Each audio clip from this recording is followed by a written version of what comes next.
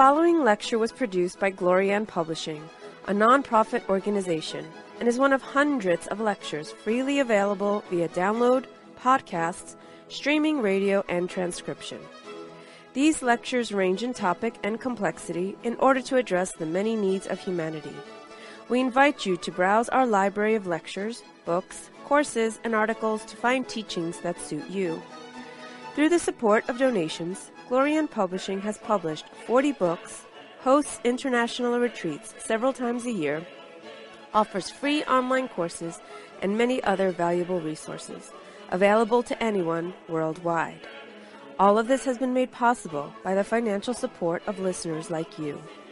Your donations make it possible for this free public service to reach thousands of people every day.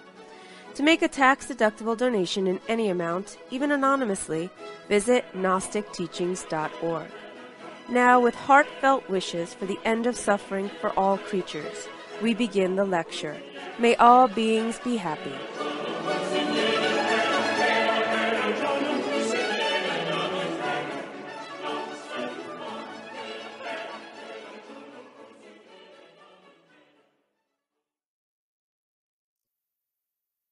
So today we are going into the introduction of uh, Gnostic Kabbalah.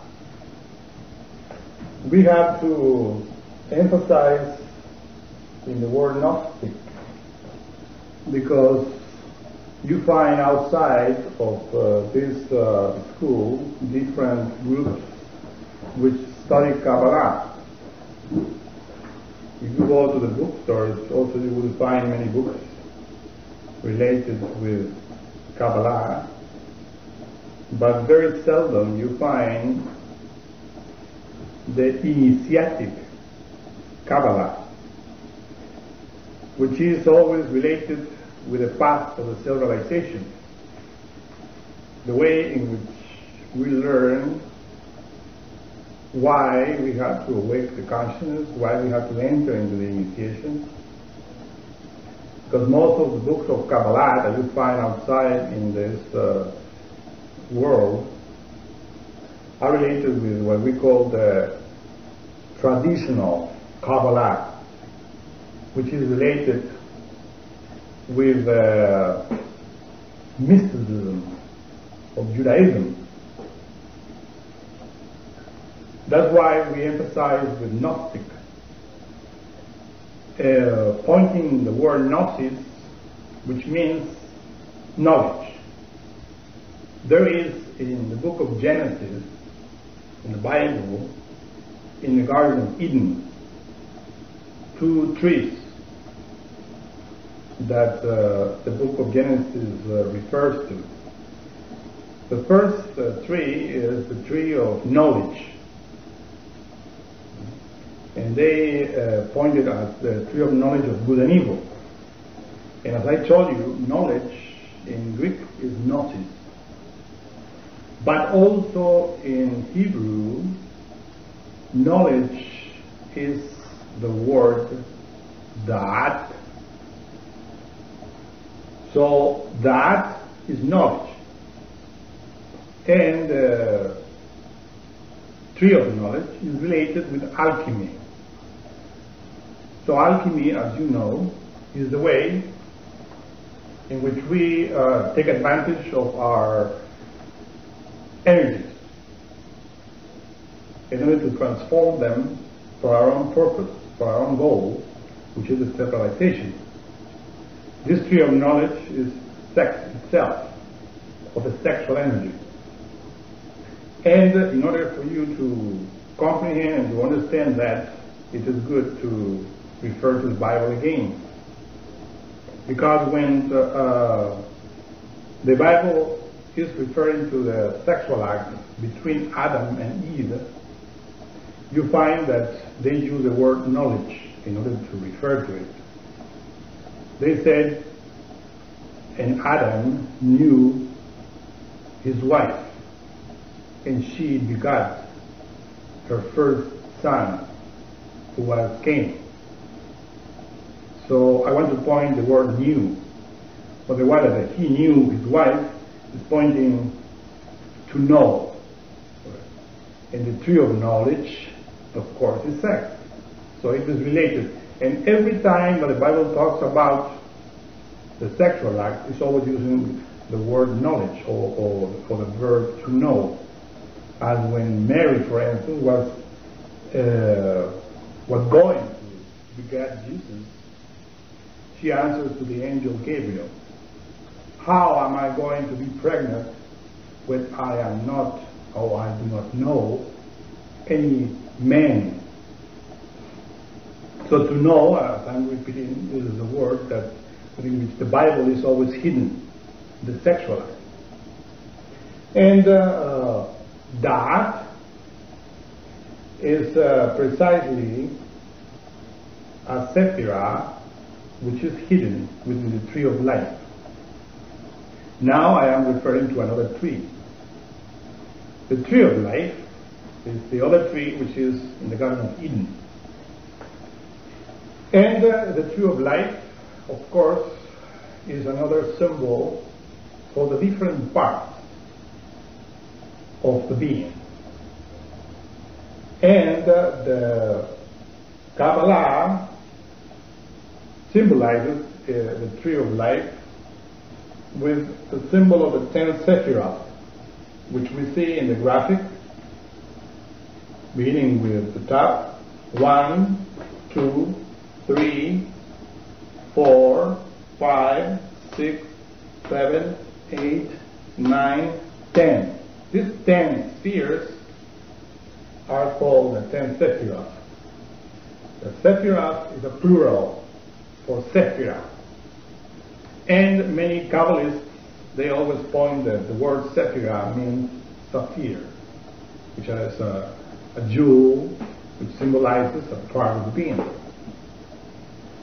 But other uh, Kabbalists says that the word Sephira means coming out from nothingness.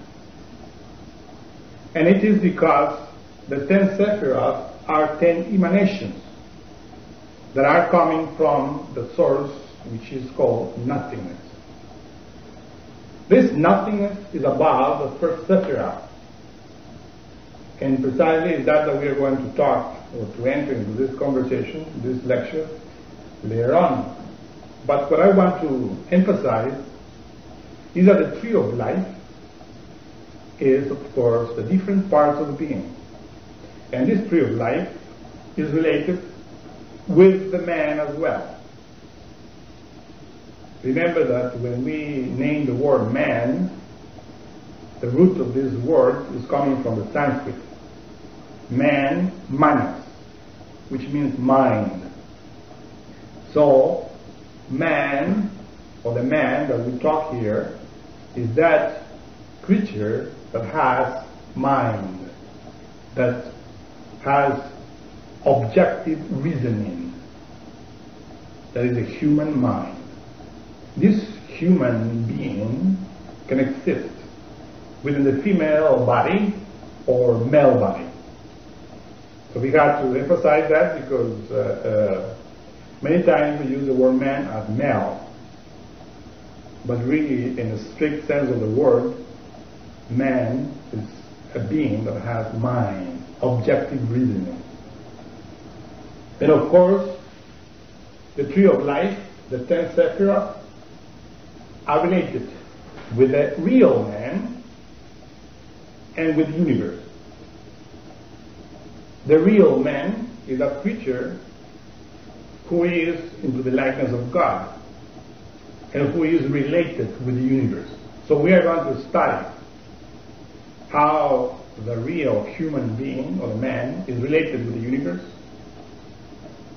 to study the tree of life is, of course, to study the universe itself and the man itself. So, Kabbalah is precisely the study of the tree of life, the ten sephirah. And alchemy is the study of the tree of knowledge. And the tree of knowledge of good and evil, which is alchemy, is always hidden within the tree of life. and is symbolized with this mysterious, mysterious circle, which is in the throat of this uh, figure that we see in this graphic. You scarcely can see it because it's a circle that has no symbol, has no color, has no any reference, only a circle. While the other circles, you always find the name in it, uh, a symbol in it, a color in it, because it's related with its own symbol. But that is that mysterious sephira that is prohibited to talk about. When I say this, I remember in this very moment an experience that I had many years ago when I went uh, into Israel. In Israel, as you know, the Jewish people, their mysticism is Kabbalah, the tree of life. But among them, it's very rare to find someone that knows about that. Because they, the, the, the rabbis or the teachers there always hide that. So I went there and I was teaching to them the mystery of Daath, which precisely was something amazed for them because they never heard about it. But other ears, of course, that knew about were angry with me or with my uh, lectures. So later on, when I left Israel, I had an experience. And this experience was precisely of a black magician who was in the astral plane trying to hypnotize me. And I remember that he was uh, hypnotizing me and telling me at the same time, you have to forget the mystery of Daath. Forget the mystery of Daath. In the same dream, I was listening to this black magician, and I knew that he was referring to all the knowledge that I was given related with the Kabbalah. How I'm going to forget something that I am experiencing, that I am practicing. And what happened is that in this world, you find two types of Kabbalists. The intellectual Kabbalist and the intuitive Kabbalist.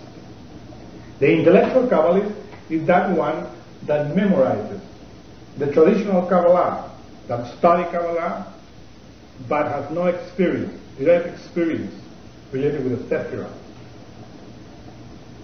Of course, in the beginning, when we learn this, we have just an information of the ten Sephirah.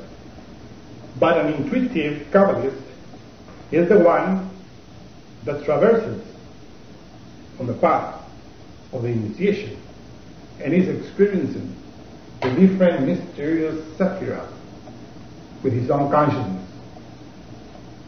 So when you experience something in your consciousness, you cannot forget. So this black magician was telling me to forget because he uh, thought that I was memorizing something, or I was uh, reading something, but he ignored that I am, I was, and I am still a initiate that is working with Kabbalah and alchemy. So the mystery of Daath, of course, is not something that I am imagining or reading, but I am practicing because it's the mystery of alchemy. So you cannot understand one tree without the other. So you want to understand Kabbalah, the tree of life, you have to, to know alchemy. In, in order to understand the alchemy, you have to study Kabbalah, or the tree of life. Kabbalah, or the word Kabbalah, comes from the word kabel in Hebrew, which means to receive. And of course, it's because the real Kabbalah is received in the consciousness. Even though in this very moment you are receiving the knowledge. So you are, of course, receiving it with your intellect. But later on, you have to understand that in order to make that knowledge experienceable, you have to practice. And you are going to understand many uh, secrets, many questions that you have from ancient times or from past with this knowledge. Because Kabbalah, or the science of numbers, or the mysterious tree of life, is something that is related with the universe. Is something that is there in the superior world that you can learn through the initiation. In the ancient times, in the time of uh, Atlantis, there was an organization which uh, is named the Akkadian Society. The Akkadian Society was an organization of initiates of the Atlantean civilization. Between parentheses, the Atlantean civilization is the same Maya civilization. In this day and age, you see that there are many anthropologists that are trying to explain the mystery of the Maya civilization. They ignore that Mayas and Atlantis are the same one. In the time of the Golden Age, the Maya Atlantean people in the Akkadian society were studying the science of numbers that in this time is called Kabbalah very deeply. And that's why in Yucatan, Mexico, you find a book of Kabbalah which is written by a shaman, a Maya shaman, which is called Chilam Balam of Chumayel. Chumayel is a town of Yucatan. Chilam Balam means in uh, Maya language the jaguar shaman, or the shaman jaguar, which means a master that is, that is illuminated and knows everything about Kabbalah. So in that book you find, of course, many prophecies made in a mathematical way, Kabbalistic way. When you study Maya uh, knowledge, you find that they talk about the 13 katuns. And of course, the 13 katuns are related with the 13 Sephiroth. Because in reality, as I was telling you, there are 10 Sephiroth here, or 10 spheres. But there are three which are unknown, which are hidden. And that's why the Mayas talk about 13 heavens, 13 katuns which are related, of course, with the science of numbers. Only knowing Kabbalah very deeply is how you can enter into the mysteries of the Mayas. In the universal plot, as you know, many of those lands, the Maya lands, were of course covered by water. And when the water diminished, and then the ruins of the great civilization remained. That's why you find that the pyramids of Yucatan, Mexico, Guatemala, Honduras, and also the pyramids in Egypt are made by the same Atlanteans. The pyramids of Yucatan and, and, and that pyramids that are in America are older than the pyramids that you find in, in Africa, in, in Egypt. So the point is, of course, that uh, this Atlantean civilization disappeared but the Maya knowledge is still alive within the four dimensions. At that time, in the Atlantean civilization, the Akkadian society were transferring all the knowledge into different civilizations. And now it's coming to my mind the civilization of uh, Chaldea that existed after Atlantean civilization. Chaldea inherited all the knowledge of Kabbalah. And in Chaldea was precisely where we find this uh, uh, prophet Abraham that was coming from the city of Or, which in Hebrew Or means light. For from the city of Or, Abraham, who was very knowledgeable in Kabbalah, astrology, and many other ancient science, went to Egypt. And in Egypt, of course, he learned more since the Egyptians were also uh, people that inherited this type of knowledge of Kabbalah. And that's why in Egypt was the place where Moses, being a priest of the temple of Sais, a priest of Osiris and Isis, learned a lot of this knowledge. And Moses received, not only in the physical plane, but in the internal planes, all of the knowledge in order to give to the future uh, civilization or, or, future race that is our actual Aryan race. And of course, for that uh, uh purpose, there was a special people that were being prepared in order to establish a source of wisdom in order to spread the knowledge in all of the planet. And that's why Moses received the Kabbalah in three ways. The first uh, part of the doctrine that Moses received was the Zohar. The Zohar in the beginning was just transmitted from lips to the ears of many initiates. But later on, many rabbis wrote the mysterious Zohar, which is called the spirit of the doctrine. And of course, there is also another book that Moses gave, which is called Talmud. And the Talmud is the soul of the doctrine. So based in the spirit of the doctrine, the Zohar, and the Talmud, the soul of the doctrine, was written the body of the doctrine. And the body of the doctrine, of course, is the Bible. That's why in the Bible, which is the body of the doctrine, you find many symbols, many stories. That if you don't know the spirit and soul of the doctrine, you then enter into confusion. That is precisely the, unfortunately, the grains of our actual Aryan race. Because all the world has the body of the doctrine, which is the Bible, all the written by all the prophets, and uh, in very rare cases we find people that know about Zohar and Talmud. In most of the cases, the Christians that have the Bible, they are scared of Kabbalah because they ignore about it.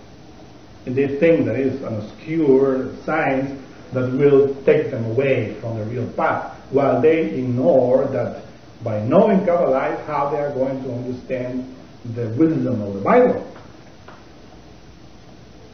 I am pointing this in order to, to uh, make you know that in these times the Jews have the Kabbalah, the traditional Kabbalah that was given unto Moses.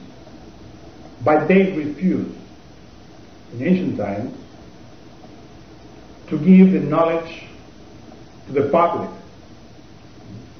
to all the world. And that's why Jesus was crucified. Because Jesus came into the Jewish race in order to make universal that was only for the race of Israel at that time. But they, of course, as you know, they didn't want it. And uh, that's why, after the resurrection of Jesus Christ, he dictated another book of Kabbalah, which is called the Pistis Sophia. The Pistis Sophia is a Kabbalistic book as well, dictated by the Master Jesus to his disciples. And of course, is the way in which Jesus is uh, delivering the knowledge that was uh, in the beginning planned to give uh, by the Israelites to the Aryan race. So the Kabbalah that we teach here is precisely that initiatic Kabbalah that was, that was taught in the Atlantean civilization, in the Chaldean civilization, Egyptian civilization, and after Jesus was given in the secret places in order to keep ahead with the path of the civilization. But in this time, as I said, there are many uh, traditional Kabbalists that uh, think that only the Jews knows about Kabbalah. But this is something that you have to understand because there are many books in the bookstore that talk in different ways uh, of the different Kabbalah that exist. A book that I advise you to read is the book of Dion Fortune, Mystical Kabbalah, in which you find precisely the initiatic Kabbalah, because there are other writers that knew about Kabbalah, but they were, of course, also deviated, right, from the real path. And that's why we cannot advise to read other books if there is not a initiate, white initiate. Because there are two types of niches, black and white. The white niches are the ones that are giving the initiatic Kabbalah, the ones that we study. The Kabbalists, Atlantean Mayan Kabbalists, they teach that there are 13 Katun, or in other words, 13 Sephirah. Because every Sephirah is a mysterious uh, jewel of wisdom, which is in, in, in Maya language, Katun. So the three that we don't see here, we don't see it precisely because they, they are unknown. In the Hebrew language is how we find in this day and age the names of all the Sephirah and the names of all of the, of the name of all the wisdom related with it. Because the Hebrew language is related with the mystery of the Bible and many other mysteries. It's a language that is coming from the Golden language and many other languages. And uh, in the Hebrew language, we find that above this Sephirah, which is the first one, that is called Keter, which means the crown, because it's above the head of this symbolic figure of a man, which is here, in the graphic. So above Keter, the crown, there are three mysterious Sephirah that are called the first one from above, Ain. And Ain, A-I-N, in Hebrew means nothingness. The second one below Ain is called the Ain Sof. And is translated as the limitless, which is the limitless, Ain Sof, is the second aspect of that that in Gnosticism we call absolute. So, after the Ein Sof, we find the third aspect of the absolute, which is called the Ein Sof Or.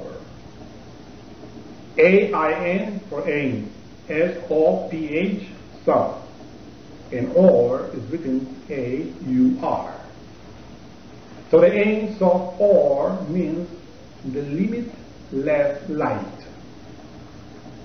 So these are the three aspects of the unknown. The unknown, in synthesis, is what Moses refers as A-Elohim. If you see the word, for instance, Elohim, it's a Hebrew word for gods and goddesses. That is always wrongly translated uh, in the Bible as God, because really the word Elohim is not God in Hebrew. The word God in Hebrew is El by itself, E-L, L. But when you say Elohim, means gods and goddesses, the plural word. But when you add at the beginning of the word Elohim the, the letter A, and then you are saying something that is unknown. Elohim means that deity that is really Seity, because always when we name that uh, divinity above the crown, we said Seity with S. Seity, which is something more than deity. The deity is the divinity expressed in the universe. But Seity is that unknown. we will say that unknown deity. So Elohim is deity, and I Elohim is the deity. That is precisely what Moses points that we should not have any image of it because it's unknown. So these three parts, Ein, Ein Sof, and Ein Sof Or, are precisely the 11, 12, and 13 heaven, that the Mayans talked about. So the three superior parts of that which is unknown. And of course, there are many uh, ways or many names, we will say, in which we find in different philosophies and religions about this unknown, which is the absolute. We call it the absolute. This is how we have to understand. We are when we are pointing the absolute is that unknown part within which everything emerges. And of course, that everything is symbolized as a tree of life. The first thing that emerges from the unknown is the light.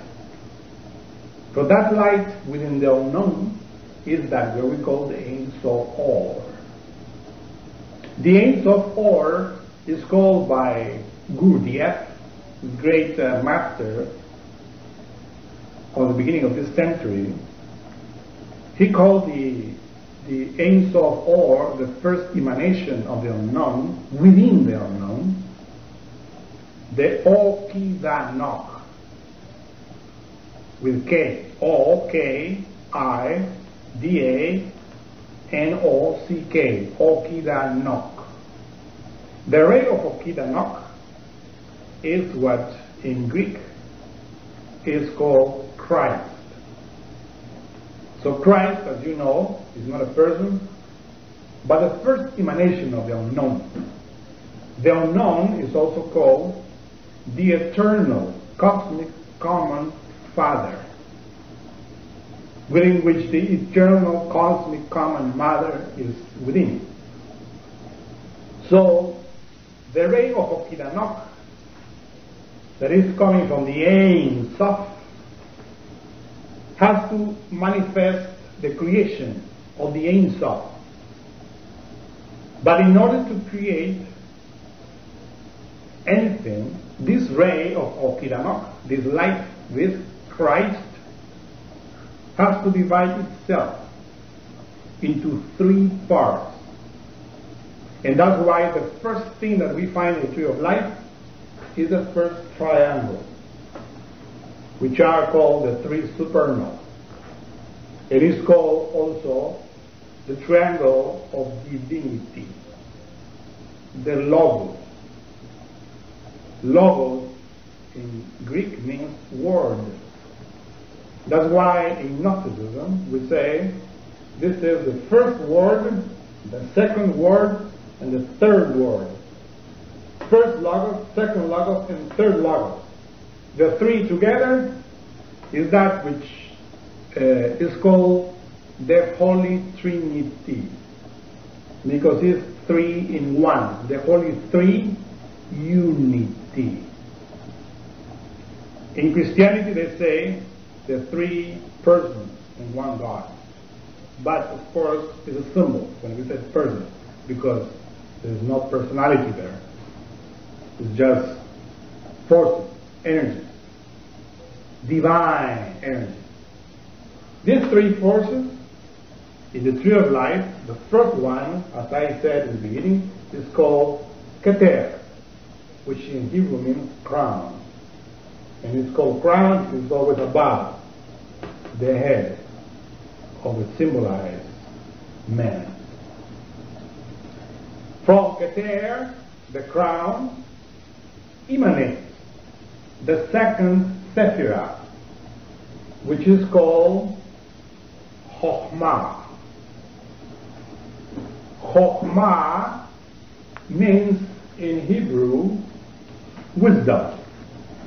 And from Chokhmah, the second Sephirah emanates the third, which is Binah, which in Hebrew means intelligence or understanding. So these three Sephirah, Keter, Chokhmah, Binah, are the three parts of one divinity, which is Christ, which is symbolized in different names. For instance, in the ancient Egypt, the three parts of this divinity together is called Osiris. That's why the name Osiris Ra in the ancient Egypt is symbolizing the three parts in one. And Osiris Ra, of course, is the father in Egyptian symbology. It is good to uh, remember this because in actuality, in this day and age, there are many people that think that the ancient Egypts were, uh, were uh, praising idols. So we have to understand that every symbol in the ancient Egypt, every figure, etc., is a symbol of something that is within the tree of life, within each one of us. So Osiris Ra is a representation of the three parts. And why it's called the Father? Because really, this first triangle is represented by the first uh, which is Keter. Because the tree of life is divided in three columns. The column of the right, which is the column of mercy. The column of the left, which is the column of severity. And the column of the center, which is the column of the consciousness. And of course, in the middle, which is the, col- the column of the middle, you find the equilibrium of the tree of life. And that's why in the, in the column of the middle, which is the column of the consciousness, you find that the equilibrium of this column is based on the three primary forces that we call the Holy Trinity. That's why at the top of the column of the middle, you find that the equilibrium, the center of gravity of the first triangle is precisely in Keter, the Father. Call it the Father because in Christianity the Holy Trinity is Father, Son, and Holy Spirit. Now, in Christianity, there is a custom of, of calling the second Sephirah the Christ, the Son. And it's because all of the wisdom of this deity here, which is Christ in three parts, all of the wisdom of that resides precisely in Chokhmah. That's why Chokhmah means wisdom. In the Brahmanism, among the Brahmans, the Brahmans, you find that these three forces are called the first one Brahma, the second one Vishnu, and Vishnu in Sanskrit means he who penetrates. And that's why if you uh, disclose the word wisdom in English, you find that it's formed with two words. With that comes to remind us the word vis, which means to see, and dom, which means power. So when you say wisdom, is the power of seeing. So wisdom, in other words, is the power of seeing, power to see. But the power to see resides in the Lord Christ. That's why I repeat in Sanskrit it's called Vishnu, which means he who penetrates. When we can penetrate within everything, then we are developing wisdom. And the only one that penetrates in all of the matter and everything that exists is Christ. Vishnu. And of course, Binah is called in, in Brahmanism Shiva. Brahma, Vishnu, Shiva, Father, Son, and Holy Spirit. These three forces are related in Brahmanism with that femininity of God, the feminine part. Because remember that in Gnosticism, God is not male, neither female, but both. Androgynous. Andros is a man, genica a woman, androgynous means man woman, or male female. That's why in Brahmanism, the wife of Brahma is called Sarasvati. The wife of Vishnu is called Lakshmi. And the wife of Shiva, Parvati. Saraswati, Lakshmi, and Parvati are the three parts of the feminine aspect of divinity. That which in synthesis is called Shakti. Shakti is precisely that feminine power or that feminine energy which is hidden in the matter. So this feminine aspect of God is never talked about in any Kabbalist book because it's something that you have to discover it when you work with that, the mystery of alchemy. So there are many Kabbalists that say that that, this mysterious Sephira, is the union of this Binah and Chokhmah, these two in here.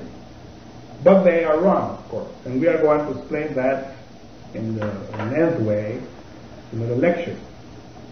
We know very well that the union of Shiva Shakti, or the female and male part of God, is precisely the mysterious Sephira, Daath, knowledge, the mysterious union of Adam and Eve.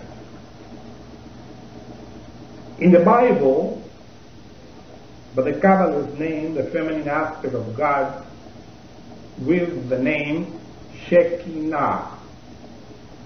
S H E K E N A. Shekinah at the, at the end is an H. Shekinah. So this Shekinah is the Divine Mother that I said is represented in, in Brahmanism with the name of Saraswati, Parvati, and Lakshmi. Naming, of course, that these three Sephiroth, the femininity of God is hidden. When we talk about the feminine aspect of divinity, in Gnosticism, we say that she has wisdom, love, and power. This is the three aspects of the Divine Mother. Wisdom, love, and power. But that wisdom, love, and power is manifested when this divinity, this, this feminine divinity, is displaying her power, which is creation. There's three, the first triangle, which is a triangle of creation, is the three forces that create. But in order to create these three forces, they also have to manifest themselves in two. And these two is the first couple that the Bible talks as Jehovah. Jehovah is the Bible name for the androgynic divinity. Because Jah is the masculine part of God and Hava is Eve, the feminine aspect. So Jahava or Jehovah, Jehovah is uh, a name which is representing the first couple.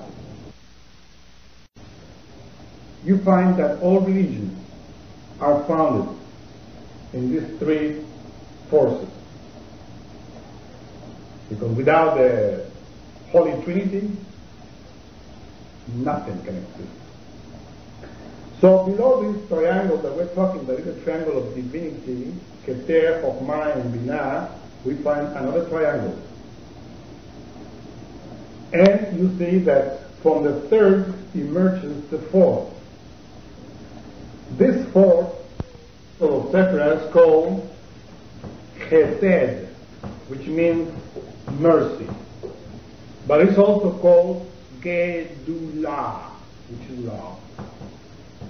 Sometimes you find at Gedula or of uh, Chesed. Gedulah, Chesed, is Atman in Sanskrit. Atman, the real man, because it's the emanation of God. It's also called the Son of God. Because really, as you see, emanates from God, the divinity, from the Holy Spirit, from Binah, from Shiva, Holy Spirit, emanates the Spirit. This Atman is the individual, particular spirit or being that we have within. That is, that part to whom Jesus refers when he says the prayer of the Lord. Our Father, who art in heaven, hallowed be thy name. This Atman, the ineffable one. Every single being has its own Atman. I have my own Atman, you have your own Atman, anybody has his own Atman, his own spirit, being, angel, in other words. And this, spirit, is the Son of Christ, the Son of God. Of course, we always exert for the union of souls, to union with our own particular Atman. But Atman exerts for the union with Christ.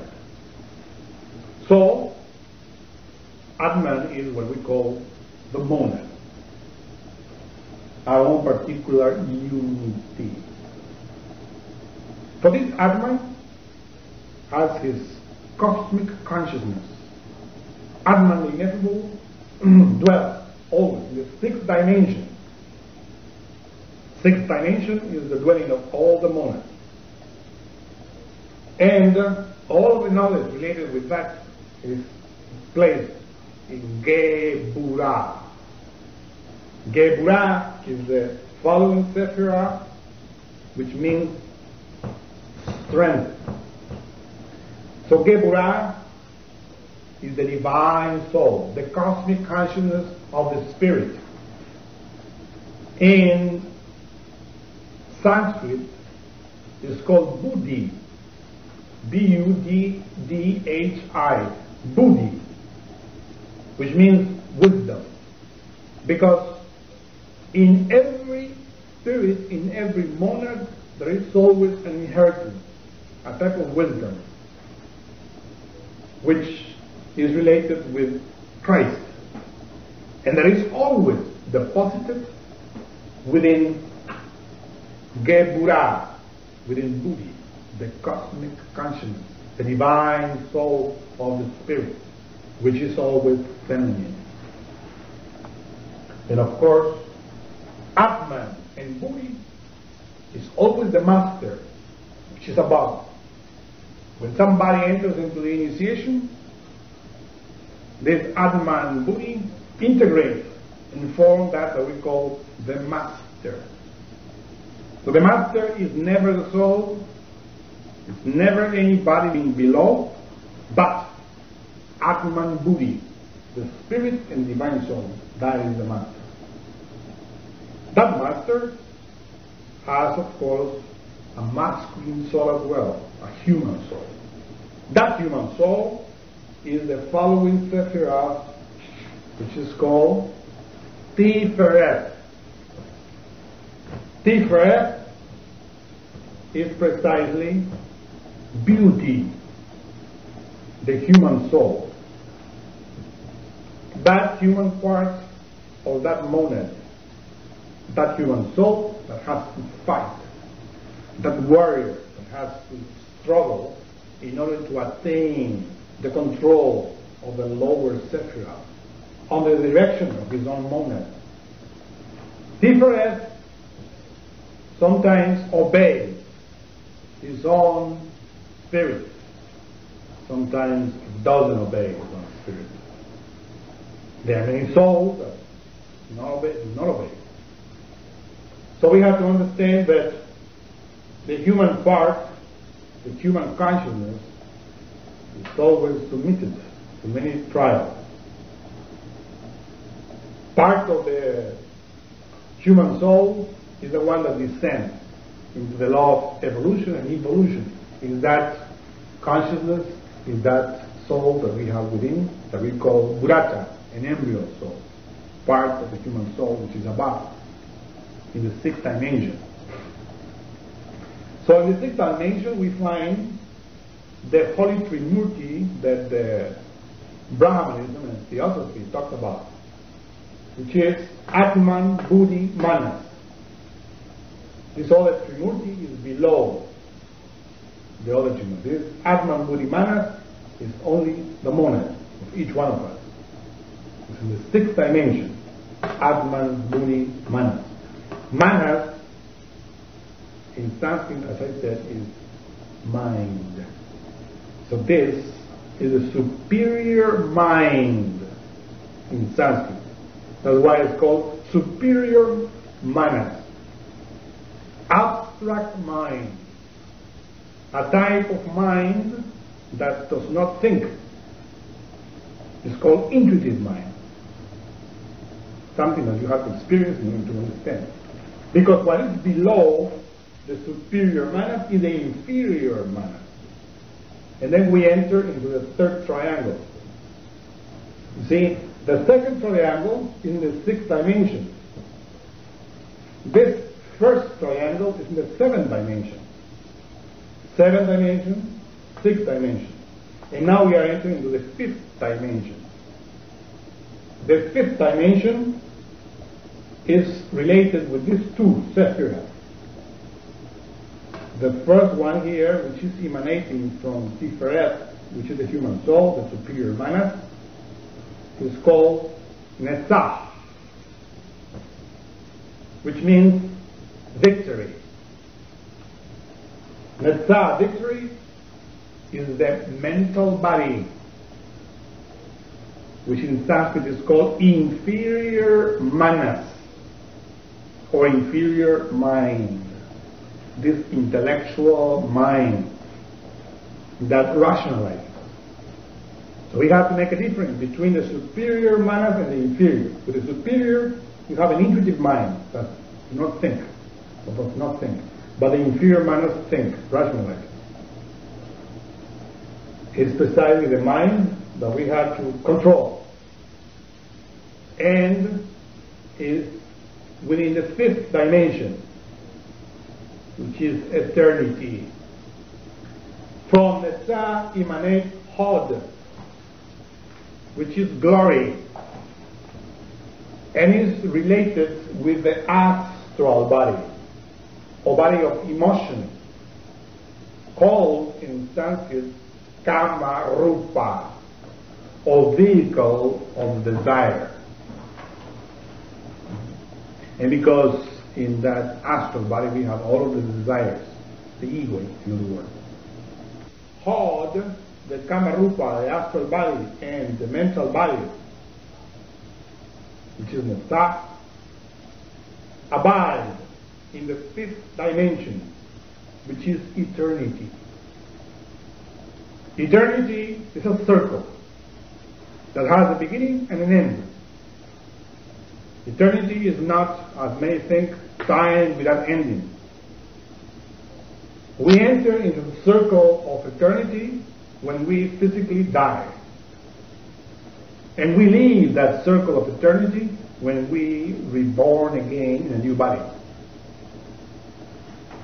Of course, the other circle which we enter in is the circle of time, which is related with the next sephirah, which is Yesod is foundation in Hebrew. And means that sephirah that is in the fourth dimension. The fourth dimension is time. Yesod, foundation, is the ethereal body or etheric body that we call vital body, which is the superior part of the physical body. If the vital body is the superior part of the physical body, it means that the physical body is the inferior part of it. And that's why we find it below. The last part of the tree of life in this graphic is called Malkut, which is the kingdom. Because really this physical world is related with the four kingdoms mineral kingdom, plant kingdom, animal kingdom, and human kingdom. This is what is the whole planet Earth, this physical world. But it's only the inferior part of the Yesod, which is the vital body.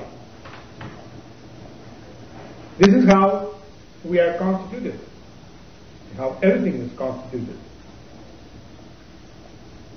I told you in the beginning that in the column of the middle, you find the equilibrium of the center of gravity of the whole tree. That's why I told you that the first triangle has its center of gravity in Keter.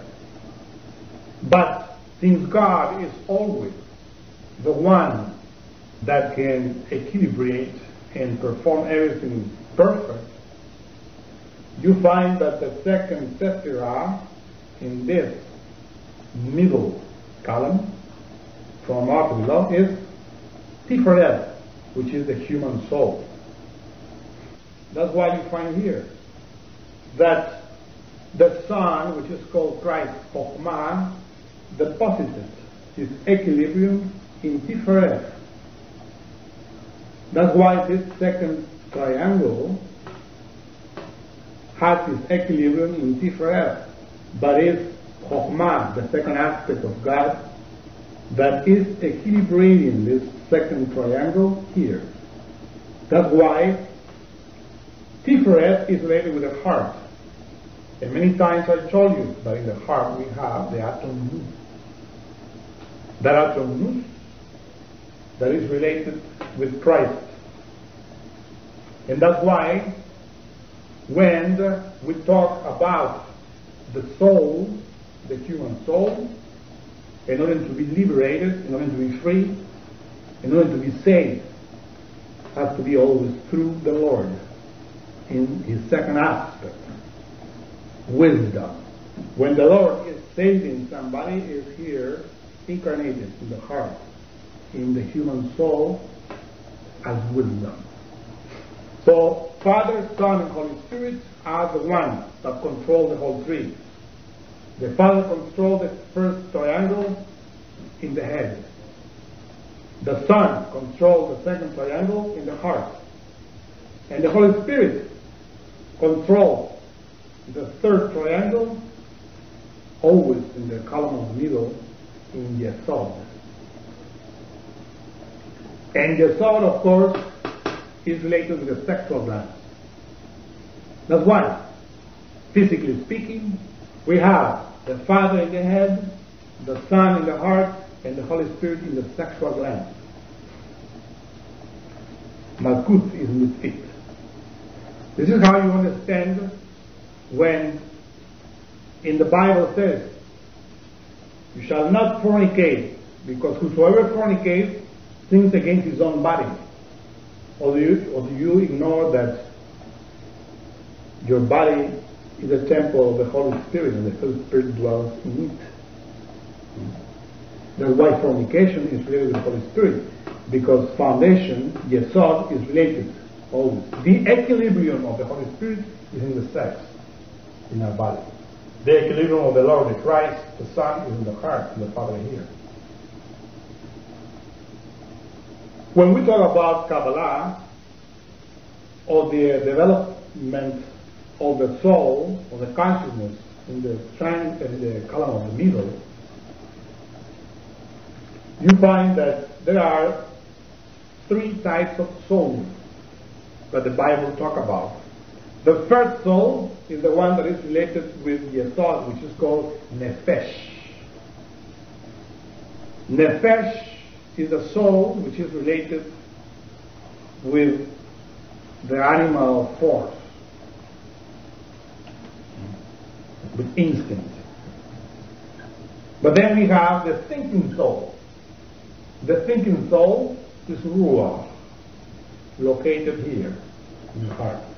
And above, we find the other soul that is called Neshama, the spiritual soul. So there are the three main type of souls that we talk. Nefesh, Ruach, and Neshama. Neshama illuminates Ruach. And that's why the thinking soul controls Nefesh, the instinctive soul, with the work of alchemy. And you see here that in the column of the middle is Daath. That mysterious sephira that I'm telling you is related with the tree of knowledge of good and evil. Gnosis. So that's why, in order to acquire the dominion of the whole tree, you have to work in the column of the middle. And in order to work in the column of the middle, you have to work with the mystery sephira Daath. And of course, we are going to explain how this mystery of Daath is the work of God in the throat and in the sex. Because when we talk about creation in this lower place, lower plane, you know that in order to create, we need a sexual energy. In order to create an animal, a plant, or a human being, we need a sexual act. So the union of the two forces, the feminine and the masculine but it's related with this lower part of the Holy Spirit. But when divinity, when God is creating, because here below we create, you know, and lust is involved in it, and many things of the lower nefesh soul, which is the instinctive soul. But above, when God creates, He creates with the power of the word, with the power of the verb.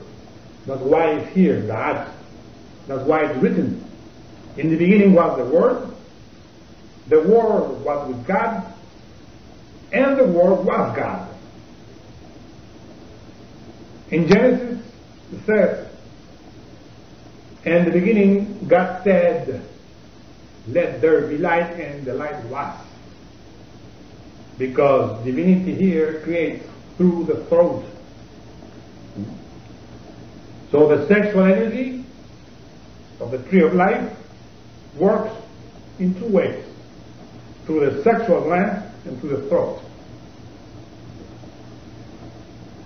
This humanity knows how to create with the sexual gland, but they ignore how to create with the throat. Because in order to create with the throat, you have to work in the column of the middle, in the path of the initiation, in order to acquire the powers of all the parts of the being, of all the parts of the life. But when the man and the woman are abusing of the sexual energy here, they cannot enter into the mystery of the tree of life. That's why it's written. Now the man and the woman that are eaten from the tree of good and evil, from the tree of knowledge. Let them taken away from Eden because otherwise they will eat, or they will, in other words, enjoy from all of these parts of the being and being degenerated. So in order to enter there, we have to be in chastity. We have to know the mystery of the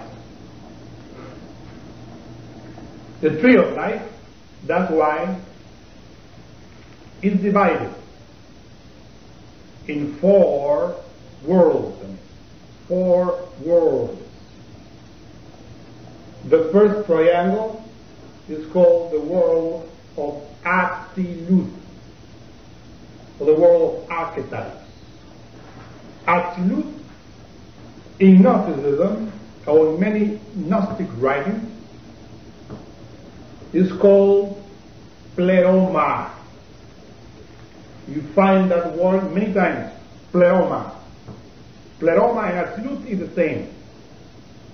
The second world is the world of Bria. And Bria is a world of creation, which is Gnosticism, Gnosis.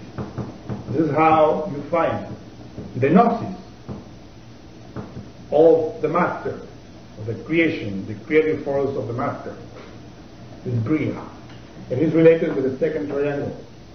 The third triangle is related with the world of Yetzirah, the world of splendors, or the world of the angels. In Gnosticism, we said, is a world of psyche. Psyche, Gnosis, Pleroma. We are giving here the names that you find in Kabbalah, Atzilut, Bria, and Yetzirah. And the fourth one, the fourth world, is related with the physical world. This Sephira, which is by itself, alone, that is fallen, and is the world of Asiya. The world of Asiya is many times, many times mistaken with the word Asia because it's very similar. When they write Asia, Asia, the word Asia, people write Asia, with Asia, and they think that they are talking about the continent of Asia. The book of Revelation talks about this, this uh, the seven churches in Asia. But people think that it's Asia, and that's why there are many Bible readers that they think that they're talking and they're looking for seven material temples in Asia because they know about Kabbalah. So they are the, these are the four manifested worlds. There is another world here below, the world of Asia, which is the physical world, which is the word of Klippa. Klippa is what in uh, many religions called hell, inferno. But Klippa is a plural word which means shell.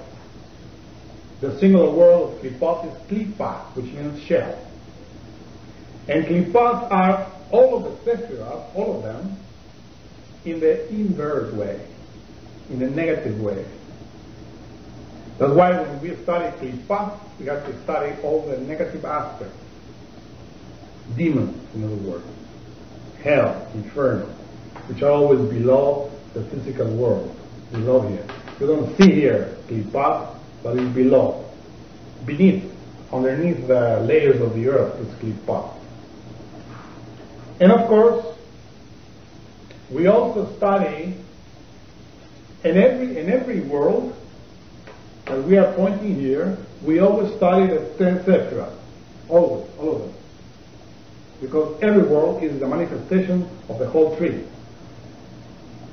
There is a world here that I'm going to point you, which is called the Zeir Anpin. The Zeir Anpin is the world in which the tenth sephira is manifested too, the number six. The Zeir Anpin is that master in which all the sephira are manifested. The human being, in other words. That's why the Zeir Anpin is a reflection of what we call the Arik, the K. A-R-I-K, Arik Anpin.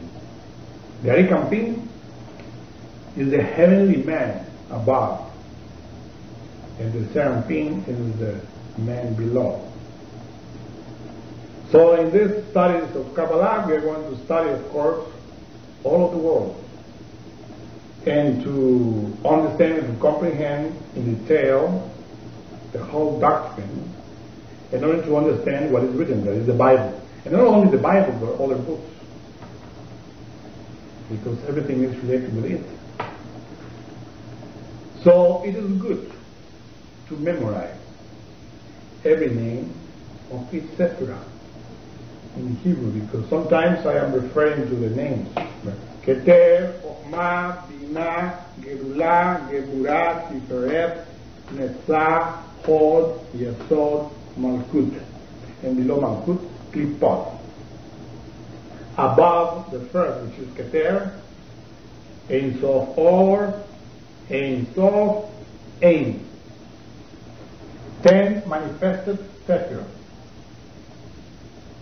Three unmanifested sephirah. And one fallen sephirah. That tree of good and evil, the tree of knowledge, is a mysterious sephirah, but is not with any symbol because it is not located in any place, but is related with all of them. Meaning that in order to enter in any of them, even in the unknown, we need the mystery of Daath, which is the mystery of alchemy. That's why uh, many Kabbalists, they study a lot of the, of the tree of life, ten. But they don't know a bit of Daath. They know that knowledge, no. But they think that is knowledge acquired by memorizing or repeating some things. They ignore that that is something related with the sexual energy. Nobody can develop the history of Daath without transmuting the sexual energy. With a key, yeah. It's a key, of course, a clue. That's why we said Gnostic Kabbalah, which means the two trees are together. Gnostic Kabbalah in this time related with the knowledge that we're teaching here, which is Kabbalah, secret knowledge, from where Judaism and Christianity emerged. Because Judaism has its foundation in Kabbalah. And Christianity comes from Judaism. And of course it's also Kabbalah. But also we have to study uh, the other thumb of the knowledge because we have two hands. One thumb of the knowledge is what we call Christianity. And in order to study Christianity, you have to study Kabbalah. And the other thumb is Buddhism. And in order to study Buddhism, we have to study Brahmanism. Because Buddhism comes from Hinduism. And that is what is uh, gnosis together. Buddhism and Christianity. What's the difference between the spirit and the divine soul? The spirit is the being, and the divine soul is the, the feminine consciousness of the spirit. That's why the, the feminine soul is like the, the, the feminine aspect that you find in the in the Middle Ages. That the warrior which is always a knight with, with his armor, fighting against the dragon in order to conquer the lady, the maiden, right? Which is always the spiritual soul. The spiritual soul is symbolized in many ways. When you read, for instance, the Song of Songs of, the, of Solomon, Solomon itself represents Atman, the ineffable and uh, beautiful uh, Sulamit. Uh, I believe it is in the Son Son, the name of the Divine Soul. It's here, the Divine Soul. And of course, the human soul is always that knight. In the round table, for instance, the human soul is uh, Lancelot. The divine soul is Guinevere. And King Arthur, or is Atman. And the three is developed the whole drama. But you have to know esotericism in order to understand. Because really, the divine soul is the wife of the spirit, but it's also the wife of the human soul, because the three are one. The moment. That above, for instance, my spirit, and he has a spiritual soul, who is the divine, united like betrothed. But I am want to, to marry her too. I want to be united with her. Because when we are united, the human soul, the divine soul, and the spirit, there's the master. But in order for the human soul to be united with these two, two forces, has to disintegrate the ego. Because these two parts are always pure, holy. This part, which is the human part, has to be clean, has to clean himself or herself.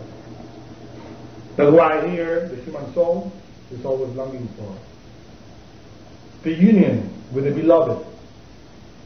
For me, the beloved is the feminine aspect of my monad. For you, who, because you are feminine, you are the masculine aspect of your monad. You want to be united with the masculine beloved one, the masculine, the masculine aspect of your monad. That union is what we call religion or yoga. That is acquired through the initiation.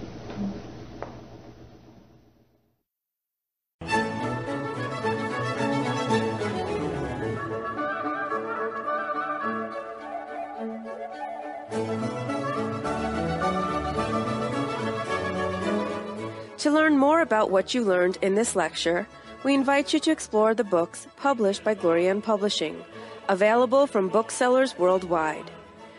You may also be interested in online courses or upcoming retreats, all of which you can learn about at GnosticTeachings.org.